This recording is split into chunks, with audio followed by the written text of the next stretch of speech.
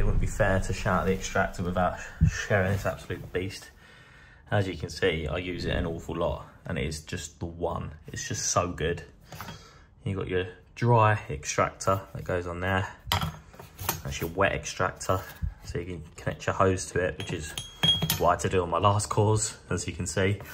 Uh, made a mess everywhere, but I'm gonna be using the dry extractor. I'll get my that hose straight in there and uh, it basically just sucks all of the dust out straight through. It's brilliant.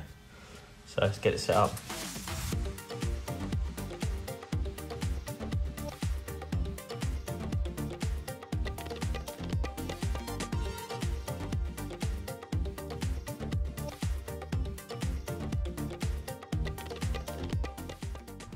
As you can see, it's pretty dustless.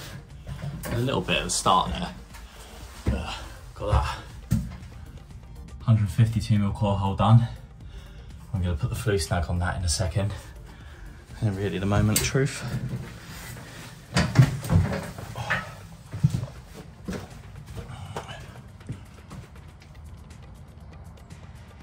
Oh. Take the goggles off. Oh, there we are. Perfect, just about. We like just about. So, got a bit of an interesting one out here. You see that I've taken this off. Now, obviously here what we're gonna have is boiler for condense.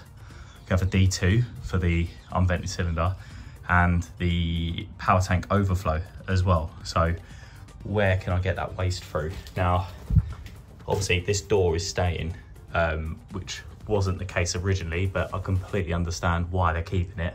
It'd be really nice if they did what next door did and turned it into a window to make it easier for me, but they want a door.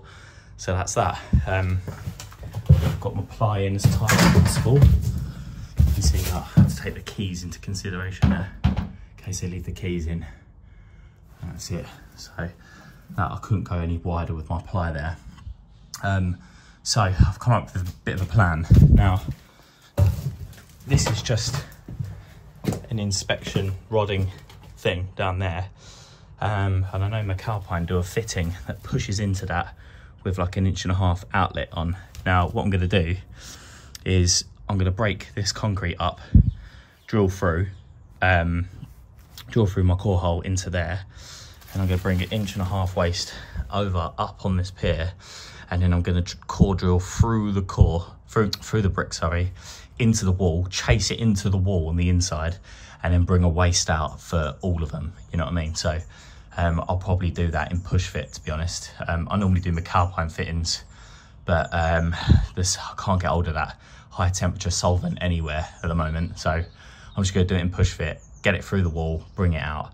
Um, and then that's compliant for all of the D2 stuff. So what I'm gonna do is bring that down in here, in the floor.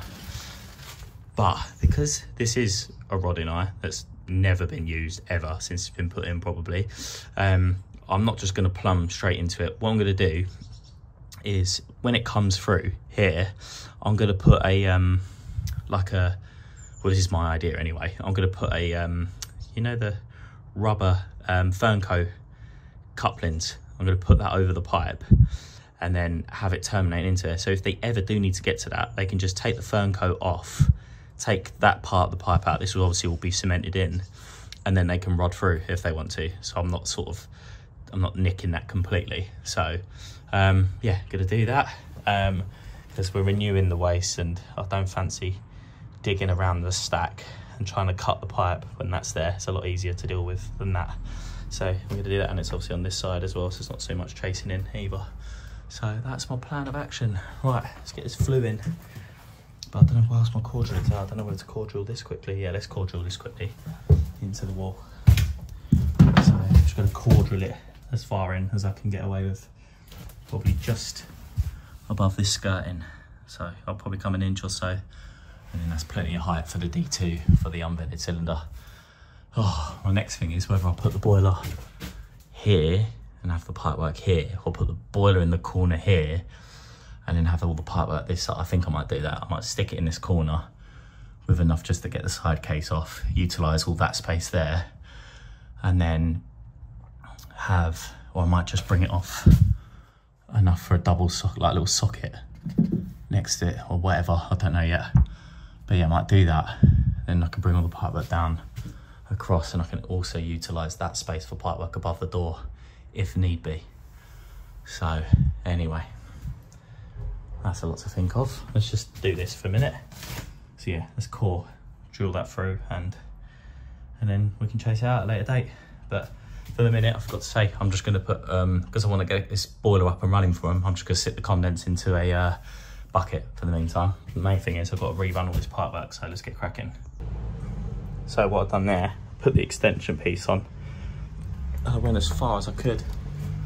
Ooh, let's turn the camera that way. I've gone right down, right down into the depths. Just a bit smoky in there in a minute, but I basically took it as far as I could through the wall and then that'll just save me chasing this side. So it's in there, in there somewhere. So what I can do is measure it all, put a mark there, and then I can just carry on chasing just this little bit here rather than the whole, all of that. So um, just got to find the right bit, but sure I can do that with a bit of measuring. Make sure that's all right, get my laser out. And then, uh, yeah, like I said, just carry that through and then we're good to go. Um, in fact, I might do that today. And I don't have to put a condense in the bucket, do I? So I could just get that in temporarily. Now that's done, I've drilled it through. One thing I can't stand is mess. Oh, that's better. So, I'm gonna do, I've got that right through to there. Before I put my core drill away, I measured how far the core bit went through, took it through, and it stopped there. So roughly there. Um, that's the height of it. So what I'm gonna do is I'm gonna, because it went up slightly, I'm gonna punch a hole through there and then I should be able to break away exactly where the chase I'm guessing it's gonna be about there somewhere or about there or something. But if I went in the middle, I can find the middle of it and then I can carry on a bit further and then bring it up. So that's that. Oh God, I hate mess. So then, if you haven't seen these, what have you been doing? Living under a rock. Been out ages now, but just in case you haven't. Um, this is the pipe snug, but this is the flue snug. Originally, they just bought these out for 110 mil soil stack and inch and a quarter, an inch and a half. Um, and then they were like, hang on a minute, we could do flues as well. It's a great idea. So um, it's Part L compliant, which is the main thing. Um, we've all got to be adhering to Part L, haven't we? So um, it's as simple as that. You, you drill 152 mil core hole and then you push it in. And when you push that in, then your flue goes in there and it's completely airtight and sealed. It's perfect. It's the easiest installation you can you can do practically. And on the outside, it'll be finished perfectly. So yeah, they're wicked. They're well good. Um, I've been waiting for them to bring out a two inch one for forever and I still haven't done it. So come on guys, get a two inch one done and then you've got the full collection, haven't you? So anyway, let's go. Now bear in mind I got an MRI scan done on my back not too long ago. It probably isn't that clever. Oh, I found out that I broke it once upon a time. My L5 is seized into my pelvic bone and my L4 is completely cut, finished.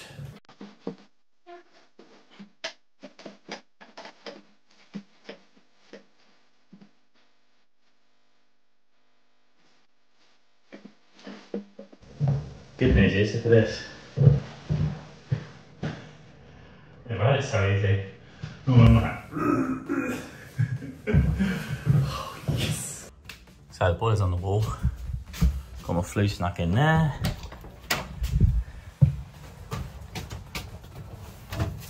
Got my flue snug in there. Now that would have been an absolute nightmare. We've got this roof in the way try and make good of that. So that's where them flue snugs are brilliant. Just got that in, been brilliant. So, now that's done, what I'm gonna do is send, I think all of them up, all of them up like that, up out the way. I know I've got gas there, so that'll do for the minute. Um, I know there's a rad up there too. Reason I'm taking the motor up here is that I know they've got mains water up here because of the washing machine. Push this out of the way, sort of found this one. I'm praying that's a hot pipe. That'd be bloody fantastic. So instead of moving all this stuff out, I'm just gonna put a cut here, get that one up, and then hopefully I can see a hot and cold there. So then I've got gas, and then all I have to do is bring heating around, which I know is here. So as long as I can tap into the heating here somewhere, we'll be good to go. Um, yeah, so right, let's get this cut then. Oh. And then I'll have a little look.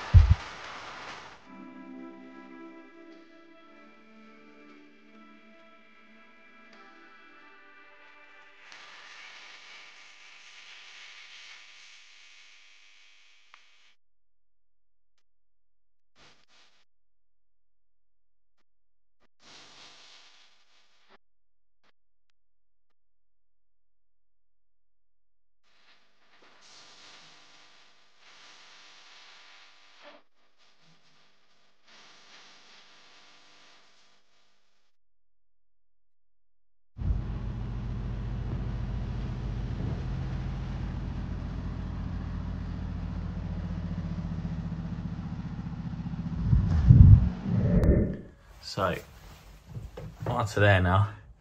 Got all that through. We're just soldering all of these up. Um, I can use that for a minute. Just there was on for a minute. I want to flush it, and um, I can use my flushing point to do these two. Just nice to it there.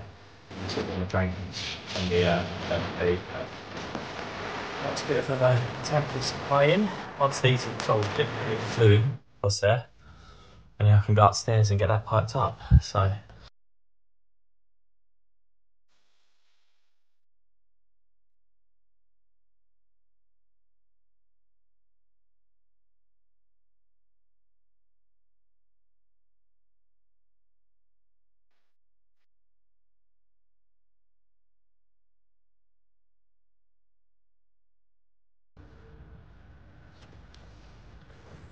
So there you have it. Perfectly chamfered all the way around. Took all the file edge off. So it's perfect. So that's that little tool I used. The Metabo CC18 LTX BL brushes. That little blade in there. Works a treat. And then for cutting that bit, just a pair of Rothenberger 50mm cutters and just sort of squeeze it over. That was a little Todd's top tip from back in the day, and obviously just a file just to take little bits off. So we're ready to go. Let's go pop it in. So that's all done. All soldered up. It's all tight. Done, ready for flushing. So got my goggles on now. Let's cut this flue. Oh, there you have it. That's the flue in. Sort of clip on there. Nice fall on it. Perfect. All nice and finished and airtight. Just how we like it.